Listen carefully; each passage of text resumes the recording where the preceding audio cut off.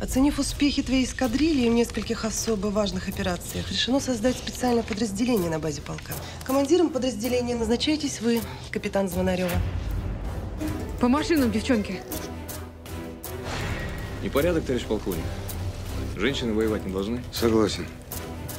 Но эти воюют. Дай бог всякому. А вы как в темноте-то летаете? А мы как кошки, так и летаем. Наша задача – найти слабое место в кольце окружения, одновременно получить сведения об этом секретном объекте. Товарищ полковник, боевое задание выполнено. Себя не жалеете, машины не жалеете. Бомбы немцам прямо за шиворот кладете. То, что вы сделали, настоящий подвиг. Я буду лично просить руководство страны наградить всех участников операции самыми высокими наградами.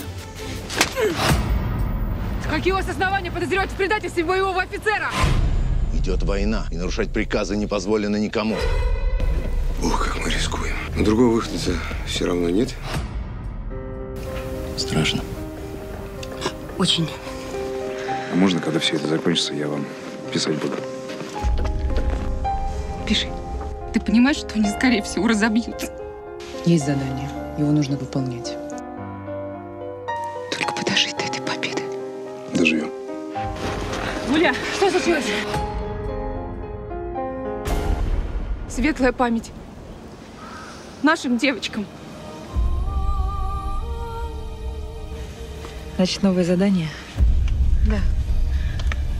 Очень важное и срочное. Вылетать нужно сегодня ночью.